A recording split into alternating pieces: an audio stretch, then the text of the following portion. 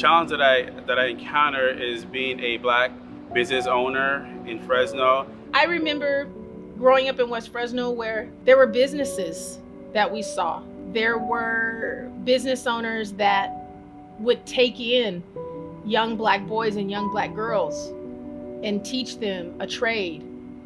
They would they would tell us stories of how to better ourselves. I mean, it is just dead there now. There's no life. You're given a, a Dollar General here and there, and that really doesn't do much, especially for a community that is a food desert.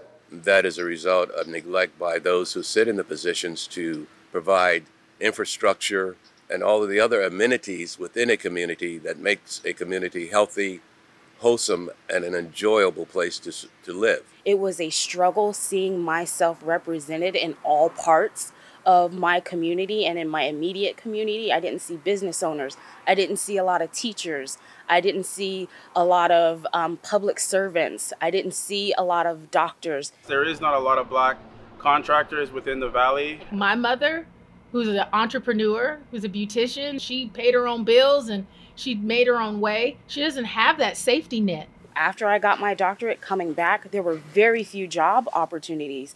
With a doctorate, I was making $15 an hour. I was on Medi-Cal. I was on food stamps. It's the same old companies going over and over again that that gets qualified for these projects. And I'm not asking for someone to just give it to me. I want to fight for it just as much as the other guys fighting for it. So when we think of poverty and disenfranchisement, it's not just people who don't work or don't want to work. They're not asking for a hand me out, nor they're asking for a hand me down.